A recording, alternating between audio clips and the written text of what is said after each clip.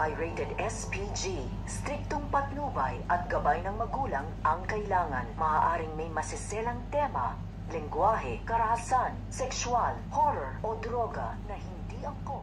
Susuko na nga ba? Ito nga si Moira. So ito nga si Moira ay maaabutan nga siya nito nga ni Nusi at nito nga ni Ajay at kasama nga dito ito nga si Annalyn. Kaya nga ito nga si Ajay ay kinukumbinsingan dito ito nga si Moira na sumuko na nga daw ito at pagbayaran ang lahat ng kanyang nagawang kasalanan upang hindi na nga daw sila mapahamak ang kanyang anak na ito nga daw si Zoe. Pero ito nga si Moira ay nagdadalawang isip pa nga ito kung susuko na nga ba ito at hindi nga nila namamalayan habang nag-uusap nga sila. Ay ito nga si Carlos ay nasundan nga dito. Ito nga si Moira. At nagbabanta na nga ito nga si Carlos. Na barilin nga ito nga si Moira. Kaya nga ito nga si Carlos ay kumukuha na nga lang ito ng pagkakataon at tiyempo upang paslangin na nga niya dito. Ito nga si Moira dahil dahil hindi nga mapapatawad nito nga ni Carlos ito nga si Moira